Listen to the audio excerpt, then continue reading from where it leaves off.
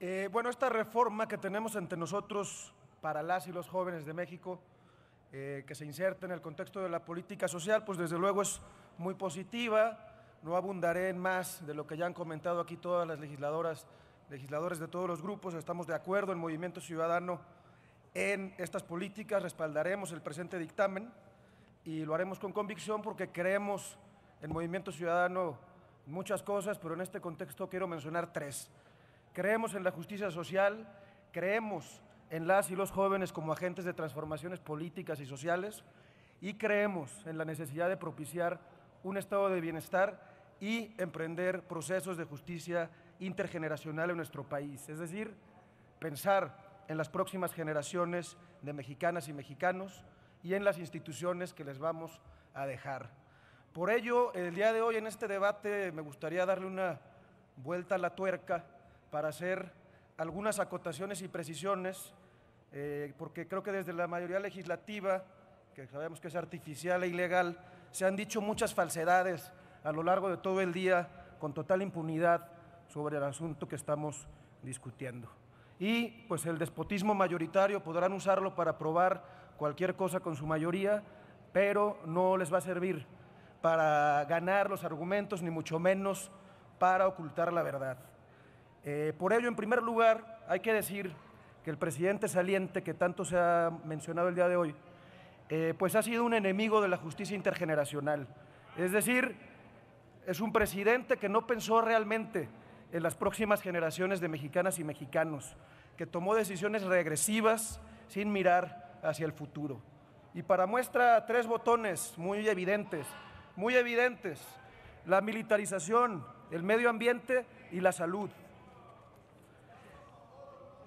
Estamos a favor, diputado. Ya mencionamos aquí que la militarización de la seguridad y de la administración pública dilapida los esfuerzos para construir un México con paz y justicia. Es decir, condena a las próximas generaciones, a las y los jóvenes de los que tanto hemos hablado, a repetir un modelo fallido y les complica la posibilidad de realizar un cambio de fondo en la estrategia de seguridad. El medio ambiente, este gobierno que concluye, pues ha sido el enemigo público número uno de la naturaleza, devastación ambiental por doquier, obstaculización de las energías limpias y una obsesión tercermundista con las energías fósiles que nos condenan a un futuro, eh, a las y los jóvenes, eh, con decisiones regresivas que nos llevarán a un rezago en el futuro eh, próximo y salud, porque aunque se empeñen e insistan en negarlo como si nada hubiera pasado, eh, durante este sexenio se desmanteló la salud pública y se engendró una crisis que cobró vidas humanas,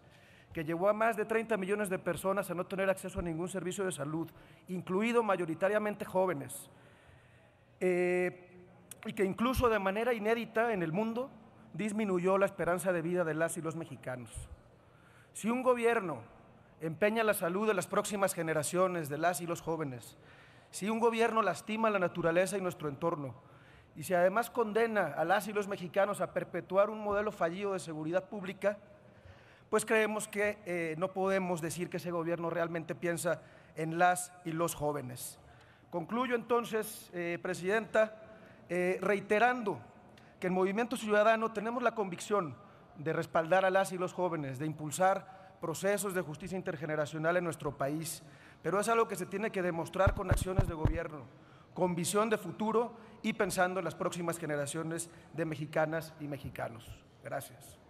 Muchas gracias, diputado Vázquez Agüet.